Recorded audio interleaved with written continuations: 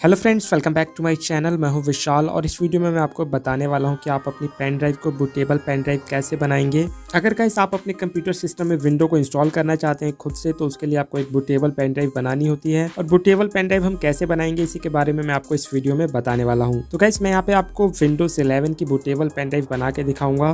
तो चलिए guys video शुरू करते हैं। तो सबसे पहले का इस विंडो 11 की बुटेबल पेन ड्राइव बनाने के लिए सबसे पहले आपको विंडो 11 की आईएसओ फ़ाइल को डाउनलोड करना होगा। इसके लिए आपको अपना क्रोम ब्राउज़र ओपन करना है यहाँ से। और यहाँ पे हम गूगल पे सर्च कर लेंगे विंडोज़ 11 आईएसओ फ़ाइल ठीक है? तो मैं यहाँ पे टाइप कर लेता हूँ। मैंने यहाँ पे टाइप कर लिया है, उसके बाद आपको एंटर प्रेस करना है। उसके बाद गाइज़ यहाँ पे आपको फ़र्स्ट लिंक दिख रही होगी माइक्रोसॉफ्ट डॉट कॉम की, ठीक है? तो आपको इस लिंक को ओपन कर लेना है यहाँ से। मैं इसे ओपन कर लेता हूँ। और उसके बाद गाइस यहाँ पे वेबसाइट ओपन हो जाएगी। उसके बाद आपको नीचे की तरफ़ आना है, यहाँ पे नीचे आएँगे हम। और यहाँ पे आपको सिलेक्ट डाउनलोड पे क्लिक करना है और यहाँ पे आपको सिलेक्ट कर लेना है विंडोज़ 11 मल्टी एडिशन ठीक है और उसके बाद यहाँ पे डाउनलोड पे क्लिक कर देंगे ठीक है उसके बाद गाइस यहाँ पे दूसरा ऑप्शन ओपन होता है सिलेक्ट द प्रोडक्ट लैंग्वेज तो यहाँ पे हम चूज़ वन पे क्लिक करेंगे और यहाँ पे हम लैंग्वेज सेलेक्ट कर लेंगे तो यहाँ पे हम इंग्लिश इंटरनेशनल को सिलेक्ट कर लेते हैं और उसके बाद यहाँ पे कन्फर्म पे क्लिक कर देंगे ठीक है उसके बाद गाइस यहाँ पे 64 बिट डाउनलोड का ऑप्शन आ जाएगा आपको सिंपली यहाँ पे डाउनलोड पे क्लिक करना है और उसके बाद जो आपकी विंडो 11 की आईएसओ फ़ाइल है, वो यहाँ पे डाउनलोड होने लगेगी, जैसे कि आपको यहाँ पे देख रहा है, ठीक है? तो गाइस मैंने इस फ़ाइल को ऑलरेडी डाउनलोड किया हुआ है तो इसलिए मैं इसे डाउनलोड नहीं करूँगा। मैंने बस आपको इसका प्रोसेस बता दिया है कि आप विंडो 11 की आईएसओ फ़ाइल को कैसे डाउनलोड करेंगे, ठीक है? तो फ़िलहाल के लिए मैं इसे कर देता हूँ क्लोज यहाँ पर मैं कैंसिल कर देता हूँ इसको, और यहाँ से इसे भी मैं कैंसिल कर देता हूँ, ठीक है? और उसके बाद मैं यहाँ पे आपको दिखा देता हूँ अपने दिस पीसी में, मैंने यहाँ पे विंडोज़ 11 की आईएसओ फ़ाइल ऑलरेडी डाउनलोड करके रखी हुई है, यहाँ पे आप देख सकते हैं, यहाँ पे ये मेरी विंडो 11 की आईएसओ फ़ाइल है, ठीक है? तो आपको यहाँ पे देख रहा होगा, इसकी फ़ाइल साइज़ भी आपको यहाँ पे देख रही होगी, ठीक है? तो चलिए गाइस यहाँ पे जब आपकी आईएसओ फ़ाइल डाउनलोड हो जाती है विंडो 11 की, उसके बाद गाइस आपको एक सॉफ्टवेयर डाउनलोड करना होगा, उसे कैसे डाउनलोड करेंगे, चलिए जानते हैं। यहाँ पे वापस हम क्रॉम ब्राउज़र को ओपन कर लेंगे और यहाँ पे हम गूगल में सर्च कर देंगे रूफस ठीक है?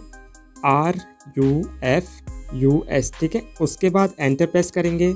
उसके बाद गाइस यहाँ पे फ़र्स्ट लिंक आपको दिख जाएगी, इसको आपको ओपन कर लेना है यहाँ से।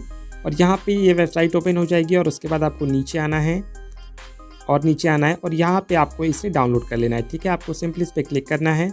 उसके बाद ये डाउनलोड हो जाएगा, इस ऐड को क्लोज कर देते हैं इस ऐड को। तो गैस है यहाँ पे हमारा जो सॉफ्टवेयर है वो डाउनलोड हो चुका है, ठीक है? अब हमें क्या करना है, यहाँ पे हम क्लिक करेंगे और शो इन फोल्डर पे आएँगे, ठीक है? तो गैस यहाँ पे हमारा सॉफ्टवेयर भी डाउनलोड हो चुका है और हमारी विंडो 11 की आई फ़ाइल भी डाउनलोड हो चुकी है, ठीक है? तो अब हम यहाँ पे बुटेबल पेन ड्राइव बनाएँगे। तो इसके लिए सबसे पहले आपको अपने कंप्यूटर या फिर लैपटॉप में आपको अपनी पेन ड्राइव को इंसर्ट करना होगा। आपकी पेन ड्राइव का जो स्टोरेज है, वो सिक्सटीन जी होना चाहिए। आप एट जी की पेन ड्राइव में भी बुटेबल बना सकते हैं। लेकिन मैं यहाँ पे रिकमेंड करूँगा कि आप कम से कम सोलह जी की पेन ड्राइव को यूज़ करें, ठीक है?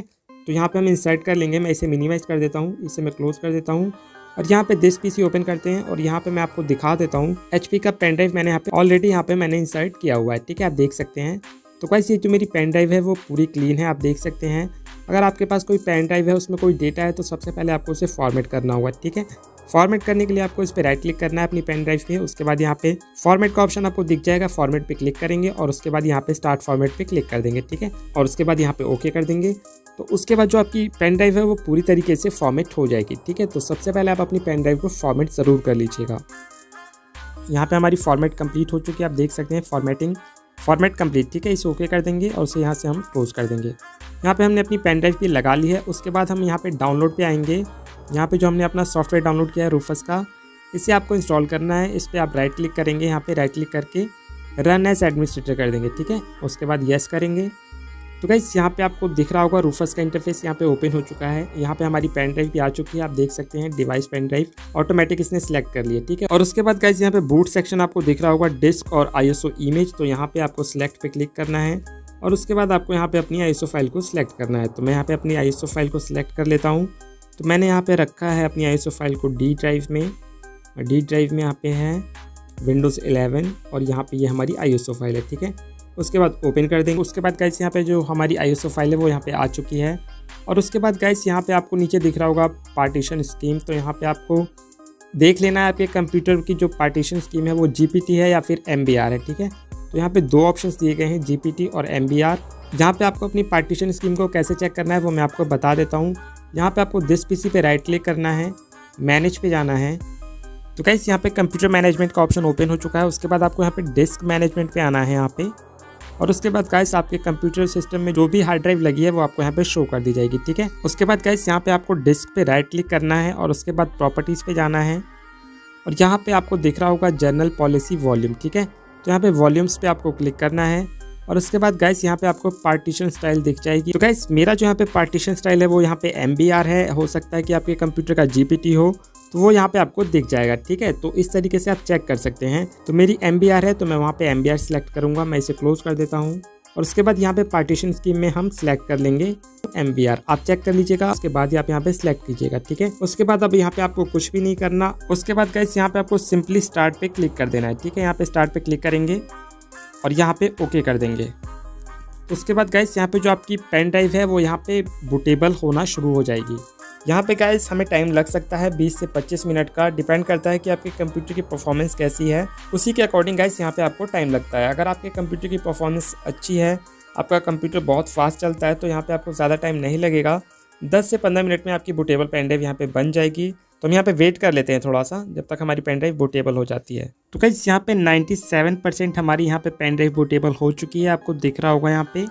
अभी हम थोड़ा सा और वेट कर लेते हैं हंड्रेड परसेंट होने देते हैं। तो कहीं यहाँ पे कंप्लीट हो चुका है। आप देख सकते हैं यहाँ पे ऑलमोस्ट कंप्लीट ही हो चुका है और यहाँ पे रेडी का ऑप्शन आपको देखने को मिल रहा है, ठीक है? तो आपकी जो पेन ड्राइव है, अब वो यहाँ पे पूरी तरह से बुटेबल बन चुकी है। अब आप किसी भी कंप्यूटर में इस पेन ड्राइव के ज़रिए आप विंडो 11 को इंस्टॉल कर सकते हैं, ठीक है? तो अभी मैं आपको अपनी पेन ड्राइव को दिखा देता हूँ। तो कैसे मैं यहाँ पे इसे कर देता हूँ क्लोज और उसके बाद मैं यहाँ पे दिस पीसी को ओपन करता हूँ। और यहाँ पे आप देख सकते हैं हमारी जो पेन ड्राइव है, वो यहाँ पे बुटेबल हो चुकी है। यहाँ पे इसने इतना स्पेस ले लिया है मेरी पेन ड्राइव का। तो ये हमारी जो पेन ड्राइव है, वो कम्प्लीटली बुटेबल हो चुकी है। तो गाइस इसके बाद आप इस पेन ड्राइव के ज़रिए आप किसी भी कंप्यूटर में विंडो 11 को इंस्टॉल कर सकते हैं। आई होप गाइस वीडियो आपको पसंद आई होगी। वीडियो पसंद आई तो प्लीज़ वीडियो को लाइक कर दीजिएगा। और अगर आप मेरे चैनल पर नए तो प्लीज़ चैनल को सब्सक्राइब कर लीजिए और बेलाइकन को प्रेस कर दीजिए। तो मिलते हैं ऐसे इंटरेस्टिंग टॉपिक के साथ नेक्स्ट वीडियो में। तब तक ख्याल रखिए अपना और अपनी फैमिली का। Thank you